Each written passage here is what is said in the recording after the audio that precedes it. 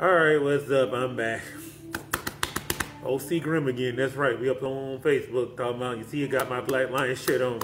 Today, today, signing ink, baby. Dan Campbell, six-year contract. Don't know the terms of money of the new GM. I think they got a better scouting department now. They got a guy who actually scouted college players, not just be one of uh, Bill Belichick's cronies. That's why Belichick's falling apart over there. No, not really. I just had to crank on something to make up something to talk about this video. But let's see.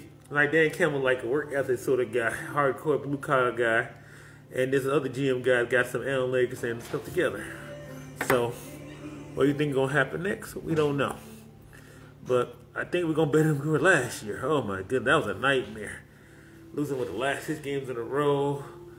Now I guess the question you guys are gonna ask what they're gonna do about Matt Stafford. I don't know.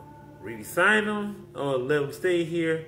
Trade him to Deshaun Watson. I don't know. I look they're exploring all options. I know this much. The defensive side of the ball need a total revamp though.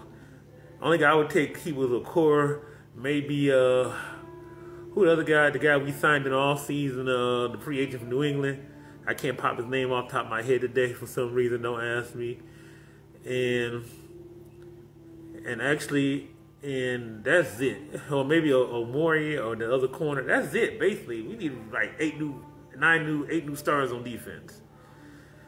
We definitely don't need a kicker and a punter. Uh, like some offensive line, running back, we might need to get another guy to play next. Carry on, just don't have it. You need to heat his legs or get him in the squat rack with me, and I'll get him straight in about a week. But nothing being said, draft coming up. We got five picks. We're going to will and deal, and we're going to see what we got. Do we pick up another quarterback? Maybe. Do we pick a wide receiver? I think we need one. I don't know if Golladay's coming back or not. I don't. I don't know. I franchise tag him. I franchise tag uh, Worry, or whoever the doggone guy named defensive end. I keep losing track of my names today all of a sudden. Okwara, the defensive end or outside linebacker, tag him, and then maybe try to work something. Golladay maybe sign and trade, whatever it is. Get some speed. We need some speed on defense. Speed, fast, fast, fast. Speed, speed, speed, fast, fast, fast, fast. Got that? Well. I'm done talking about this. Well, maybe not. Uh, wait next week or so we can all figure all this out, right? Possible trade scenarios and moving up the draft, down the draft, more picks, trading players, whatever. We figure it out at some point, right? Well, folks, I'm done for right now. I just say, hey, you got Dan Campbell, coach. I think he'll be good for us, and uh, I trust the GM. This time, I think they really have it right. This time, really believe they have it right. They did their homework this time. Thank you, Mrs. Spielman.